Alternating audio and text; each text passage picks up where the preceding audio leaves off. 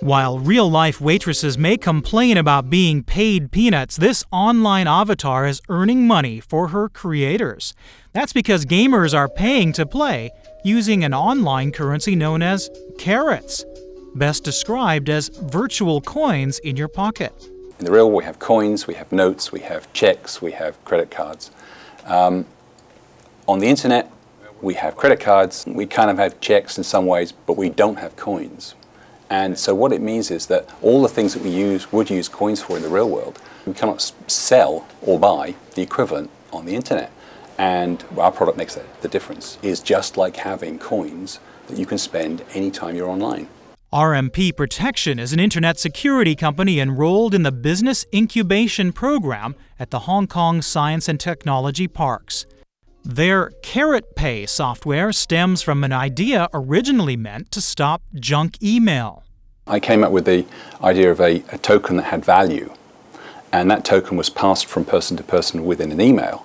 So uh, you would accept an email if it had the token of value because you knew it didn't come from a spammer because a spammer would never send you anything of value. So um, and then uh, the idea was in order to make this free for everybody because everyone wants free systems, um, you could reuse that token. Carrot Pay's creators say their invention is essentially digital money, like what you spend when you prepay to use a radio frequency ID card, such as the Octopus, already popular with Hong Kong commuters. Carrots are even more versatile. In terms of the actual technology, it's quite, quite different. Um, in fact, our technology allows us to do more interesting things like multi-currency and auto-conversion and so on, uh, which is not really possible with the card that you just sort of swipe past a reader. After a digital purse on the computer desktop is charged with money from your bank account, you can make quick transactions ranging from only a tenth of one cent up to nearly a $1,000. Though Carrot Pay only makes a flat fee of 2.5% of each transaction, business should grow as shoppers spend more freely online. What it will do is allow merchants to sell very small valued items very easily, very conveniently. Anything in particular that's electronically deliverable, whether it be a piece of music, poetry, a blog, a ringtone, a video. There are a thousand things that we don't know yet that can be sold through the internet uh, in a digital way, straight to your screen.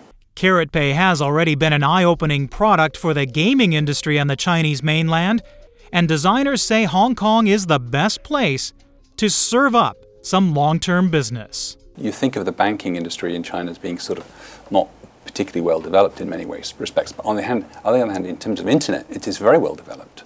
Um, we can make um, banking transactions to and from the purse much more conveniently and cheaply, more, in particular cheaply, than we can here in, the, um, in Hong Kong or we could in the US or, or in Europe.